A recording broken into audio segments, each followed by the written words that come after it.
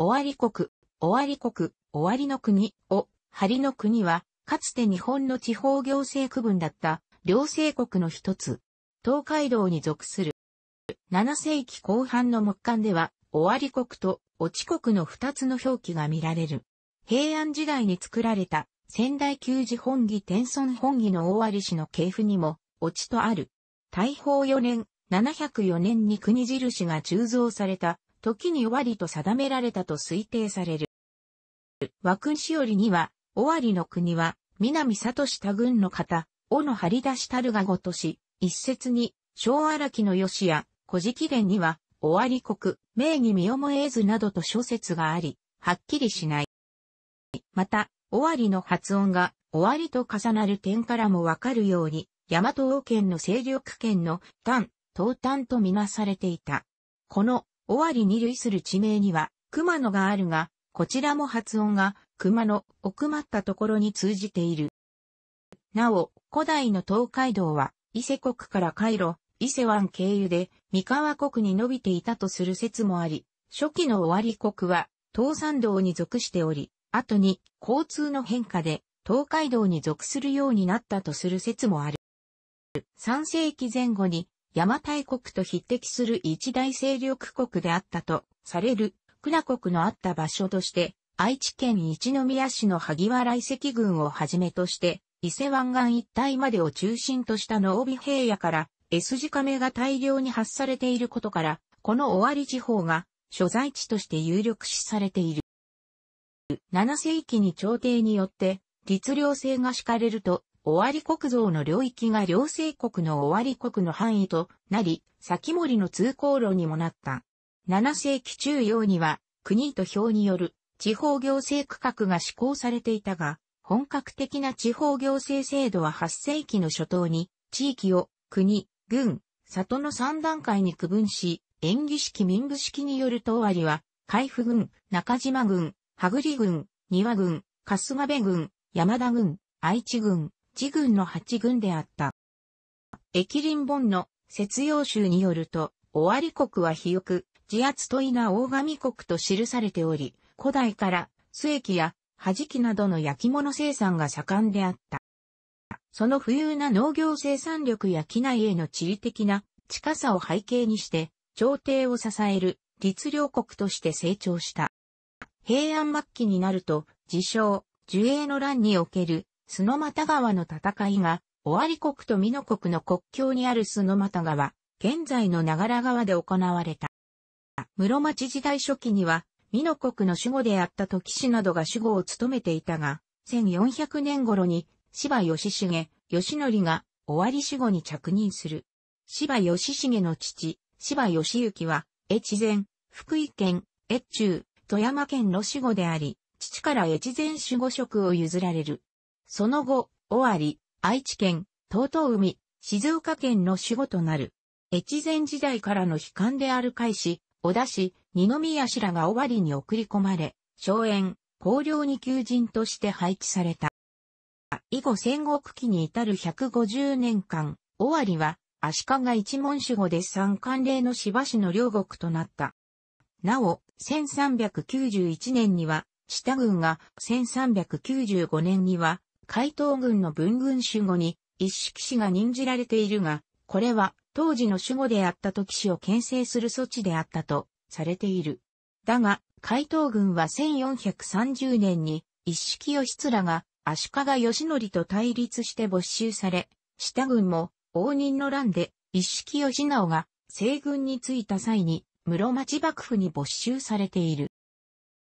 芝市の守護代織田氏が実力を持つも、応仁の乱の発生で、織田家は二つに分裂。東軍についた大和守屋と西軍についた伊勢守屋が戦後の終わり支配をめぐって構想状態となる。しばしは両者を巧みに操縦していたが、やがて実力を失う。また、駿府の今川氏親が東大割に侵攻した名残で、名古屋城は今川家の保有となる。大和守屋の家老一族が男女、忠家として枝分かれし、織田信秀の代で躍進。信秀は名古屋城を今川氏豊から奪い取るなど功績を挙げる。信秀の死後、家督相続をめぐって、大和守家から干渉があったものの、織田信長が家督を継ぐ。信長は、芝市を講演し、大和守家と伊勢守家を排除。さらに、芝市が信長追放を企てると、芝市も追放。伊勢長島を占拠していた一行宗を滅ぼして、終わり統一を成し遂げた。また1560年、永禄3年6月12日、信長討伐を目的として、尾張に侵攻した今川義元を桶狭間の戦いにて破る。これ以後、尾張国はその全域を織田男女忠家が2代にわたって支配する。1582年、天正10年、本能寺の変が発生し、信長、信忠親子は揃って敗し、山崎の戦いで、明智光秀を倒した橋場秀吉と織田家重臣の柴田勝家が世に行き寄す会議で対立。信長の後継者として、信長の三男、神戸信孝を押す勝家と信忠の着手三法師を押す秀吉の対決は、最終的に織田家新当主に三法師、後見役に信孝という形で落着した。しかし、間もなく清須会議の決定を保護にした秀吉らは信長の次男、北畠信夫を主君として擁立。これにことを唱えた信孝と柴田勝家を静ヶ岳の戦いで倒した。ところが安土に入場して、信長の実質的後継者を宣言しようとした、信夫は秀吉に退去させられたことで関係が悪化。隣国、三河国の徳川家康と同盟を結び、1584年、天正12年、小牧、長久手の戦いを引き起こす。権力掌握のため、多方面に軍を展開する秀吉はこの戦いに苦戦。池田恒興、森長吉が戦死する事態に陥るが様々な計略で信を追い詰め、単独話に成功、大義名分を失った家康も撤兵する。豊臣政権下の終わり国は、当初、織田信夫に統治された。信夫は長島城を本拠としていたが1586年1月18日、天正13年の天正地震により長島城が倒壊したことで、清洲城を大規模改修して本拠とする。その後、信夫は後北条氏滅亡後の関東への転封を拒んだため、1590年、天正18年、秀吉の激鱗に触れて改易された。信夫改易により、尾張国は、福島正則、24万国ら豊臣家の武将により、分割された。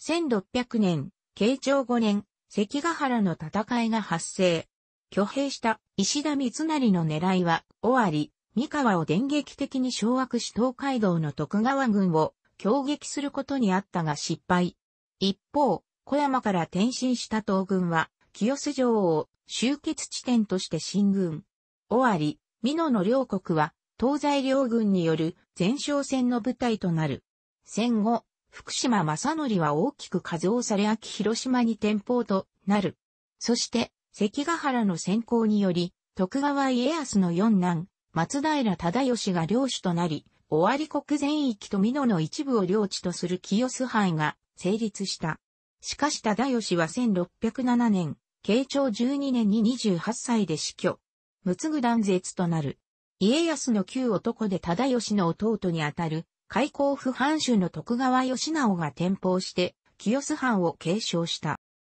1586年、天正14年の木曽川の天正の大洪水により、美濃国との境に流れていた木曽川が、羽栗郡内のほぼ中央を流れるようになった。このため、豊臣秀吉の命により、1589年、天正17年に、新しい木曽川を、尾張国と美濃国の境とし、美濃国側を羽栗郡に解消した。同時に中島郡、海西郡も二国にまたがる郡となったが、こちらは解消されていない。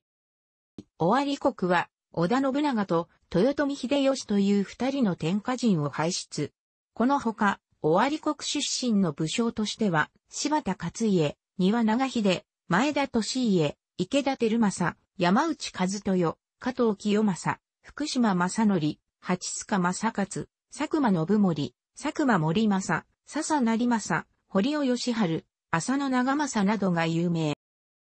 徳川義直の入府後、東海道筋の重要拠点として再整備が行われる。1609年、大御所家康の意向により、廃城となっていた名古屋城市に新城として、名古屋城の築城が決定となる。これにあたって、全国の諸校が動員された。天下不審天守大石垣については、加藤清正が不審助役となった。築城にあたり、清洲城下町がそっくり移転され、清洲城の資材は名古屋追記に再利用された清洲越しこうして長らく終わり支配の象徴だった清洲城は破却となり、代わって名古屋城が中心となる。この決定については、清洲城市の発掘調査で1586年1月18日、天正13年に発生した天正地震で深刻な液状化現象が発生し、当時の清洲城主、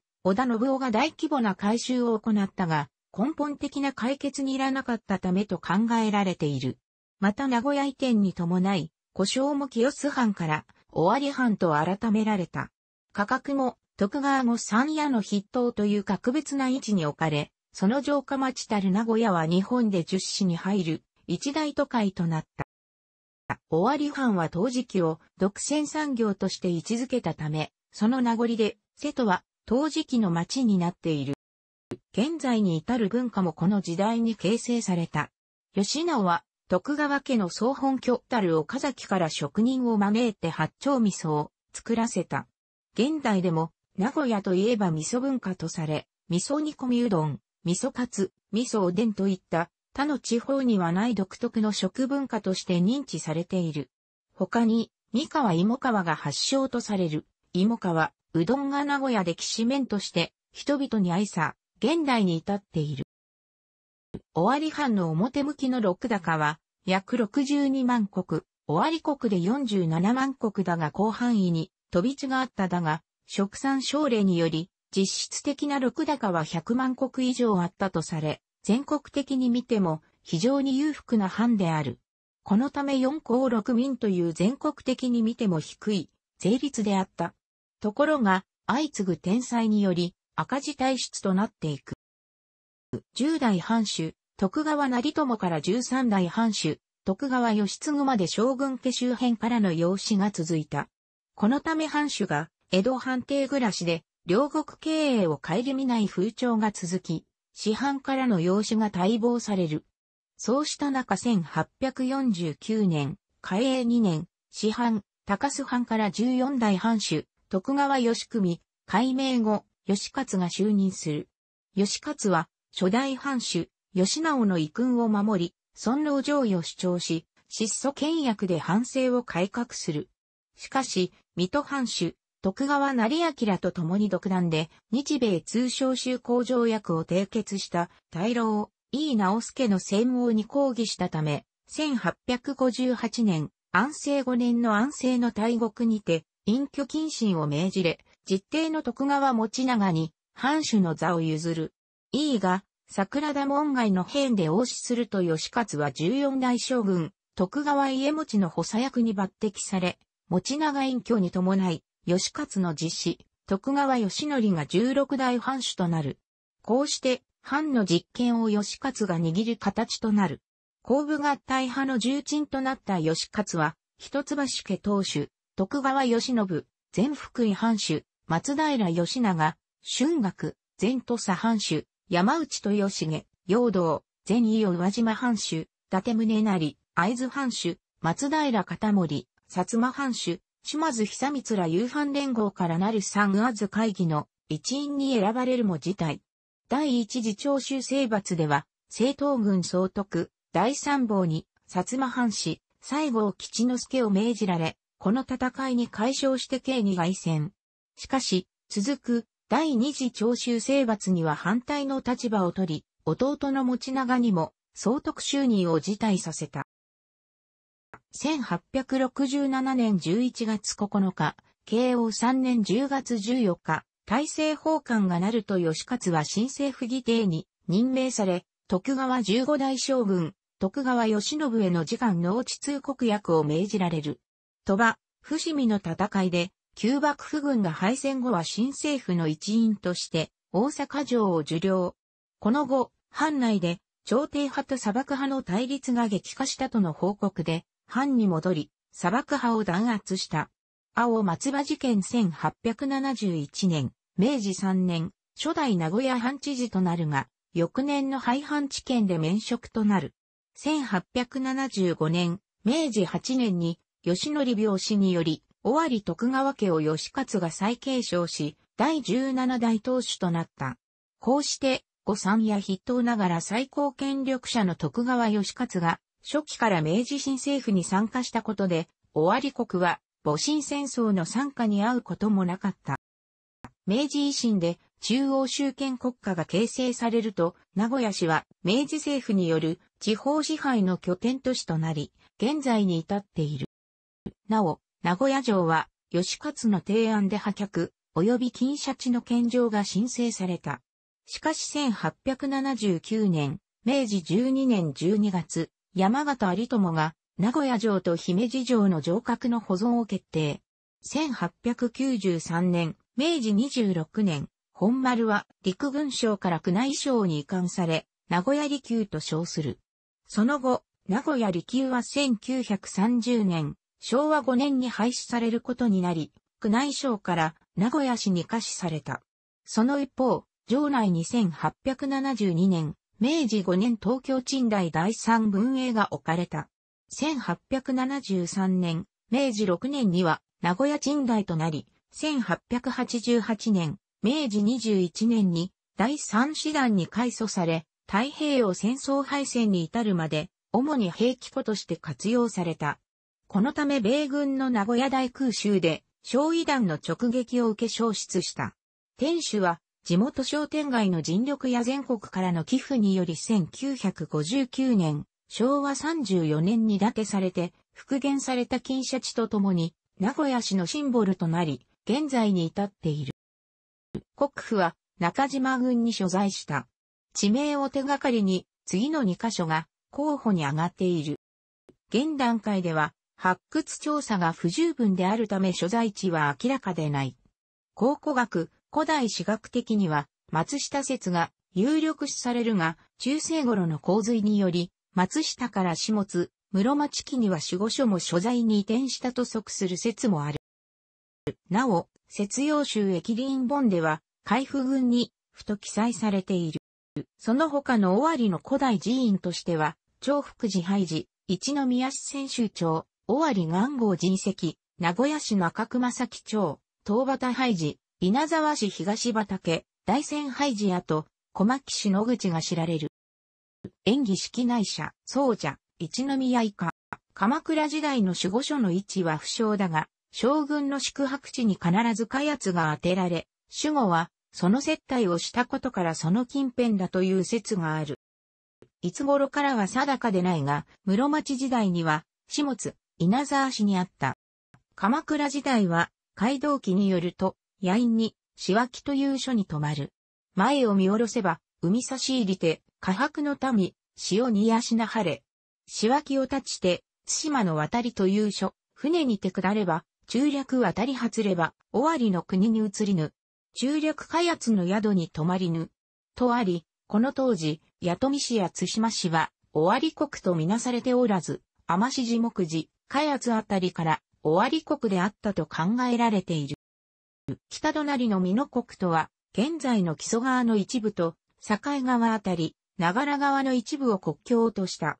氾濫により川の流路がしばしば変わり、紛争が起きることもあった。鎌倉時代には、六原短大の管轄下で西国の扱いを受けていた。室町時代に起きた上級の乱によると、尾張国の範囲は尾張旧世で認識され、前渡し、飲食、須の又などの私を境としていた。尾張国は愛知県よりは北と西に広かった。ただし、両国支配としては、美濃国の時氏が管理していたことが多いために、美濃国との記載が多い。戦国時代には多くが斎藤氏の支配下であったようだが、小田氏にとっては、尾張川、現在の境川と須の又川、現在の長良川で、橋間市、小熊町より南が尾張と認識されており、天正14年までは尾張国とし扱っている。木曽川は豊臣政権時代の天正14年、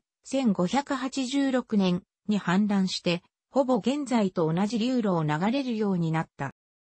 天正の大洪水によって、羽栗郡と中島郡、海西郡が新しい木曽川によって分断され、新流路西岸は美濃国に編入された。小汁園によると、豊臣秀吉の意向であったことが記載されている。そのため、愛知県側と岐阜県側に、同じ地名が今もいくつか残る。例、愛知県一宮市東、加賀の井と岐阜県橋間重中町加賀の井。愛知県一宮市浅井町川田と岐阜県、各務原市川島町川田。字は異なるが、愛知県一宮市木曽川町三津法寺と岐阜県、橋間一の神、木町三則寺。現在の愛知県西部にありながら、上記の国境変更後の終わり国に属さなかった地区に、現在の稲沢市祖父江町の一部、一宮市東加賀の井、一宮市西中野などがある。これは、両政国の廃止後に、